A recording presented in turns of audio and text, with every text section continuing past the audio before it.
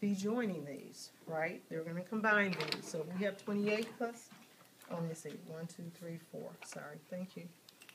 Twenty-eight plus four, which would be half that, so yeah, I should, okay, so, twenty-eight plus fourteen. Okay. Now, the thing was making the friendly numbers, what do we have here? We have twenty-eight over here, so we have twenty, and we're gonna add this, uh, fourteen to that.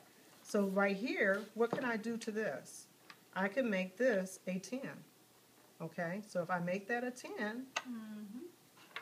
is that a friendlier number to count now? Now I have 10, 20, 30, okay?